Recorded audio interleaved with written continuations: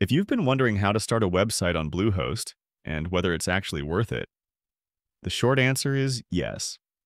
Bluehost has made it easier than ever for beginners to get online, and after testing it myself, I can tell you exactly why it's still one of the smartest choices going into 2026.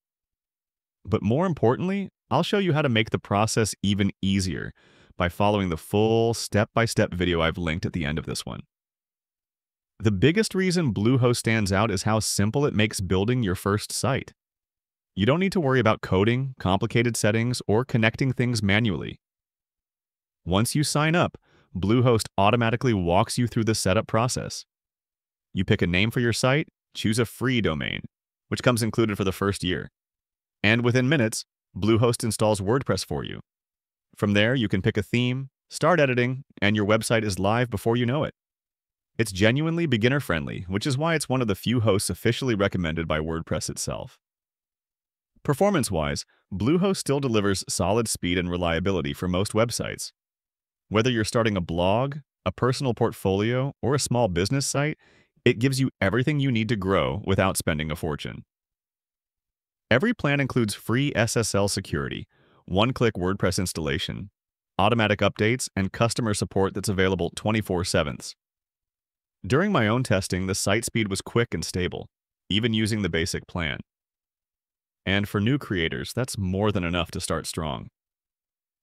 Price is another big reason Bluehost continues to be such a popular choice. With their current discount, plans start around $2 to $3 per month, which is incredibly affordable for what you get. Most people don't realize how much value is packed into that hosting, a free domain, professional email, and security all bundled together. Over time, that adds up to real savings compared to trying to piece everything together from separate providers. Now, of course, no host is perfect. Renewal prices go up after your first term, so the smartest move is to lock in the lowest rate for the longest term you can. And if you're planning to build a massive site with thousands of daily visitors, you'll eventually want to upgrade to something more powerful like a VPS or cloud hosting plan. But for most people, especially beginners, Bluehost hits the perfect balance between simplicity, price, and performance. So, is Bluehost worth it?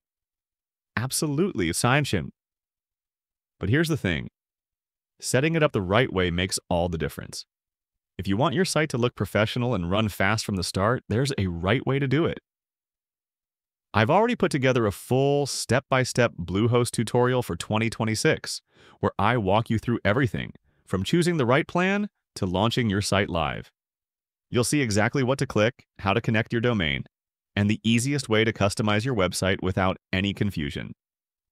If you want to follow along and build your own site today, that full Bluehost setup video is linked right at the end of this one. Check it out.